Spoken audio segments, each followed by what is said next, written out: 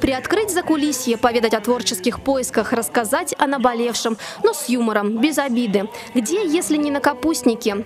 Три брянских театра – драмы, юного зрителя и кукольный – подвели итоги года. Ключевая мысль капустника – поиск потерянных зерен разумного, доброго, вечного – перекликалась с объявленным в России годом волонтерства. Что за потеряли?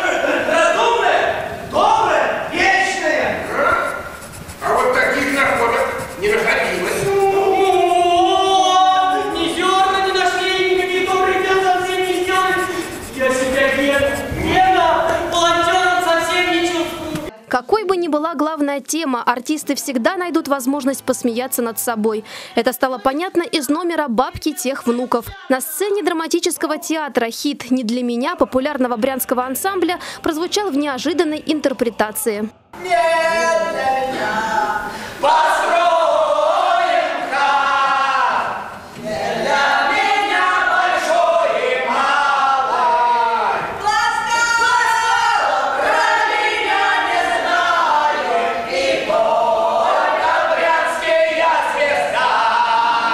Еще одна больная мозоль наших актеров – современные формы в театральном искусстве. На чашах весов классическая драматургия и новаторские решения. Вопрос баланса подняли в сценке репетиция пьесы «Три сестры».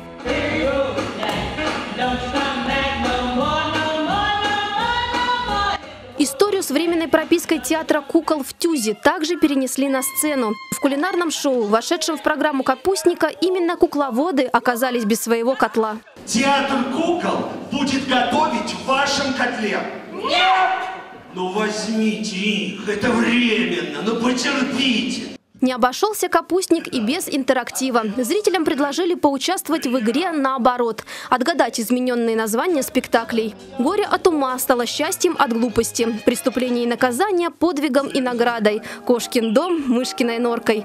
По итогам викторины главным знатоком репертуаров брянских театров признали Адель Зайцеву. Стараюсь по возможности посещать Брянский драмтеатр и как бы по возможности по времени, по своему свободному, практически на всех спектаклях бываю.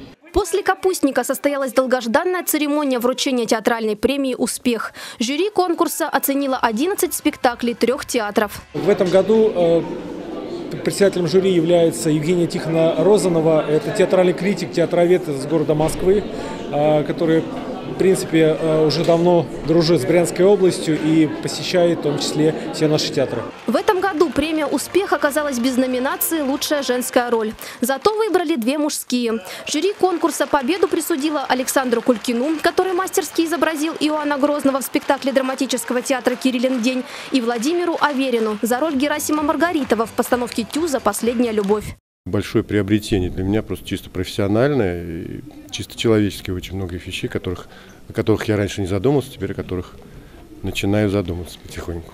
Вот, пожалуй, это самое большое приобретение. Мне важно, э, с кем я работаю, потому что это мои самые любимые. Это, а театр – это семья. Эм, С любовью, с желанием, с уверенностью друг в друге, а самое главное – в уверенности, что мы несем блестящее, красивое, интеллигентное русское слово и русский театр зрителю. Театр кукол отметили специальным призом за стилистическое единство ансамбля в спектакле «Лягушка-путешественница». Лучшим дебютом признали игру Евгении Новиковой в постановке «Тюза. В моем сердце нет страха». А лучшая режиссерская работа у Анатолия Слюсаренко за спектакль «Кириллин день». Екатерина Карманова, Сергей Любецкий. События Брянск.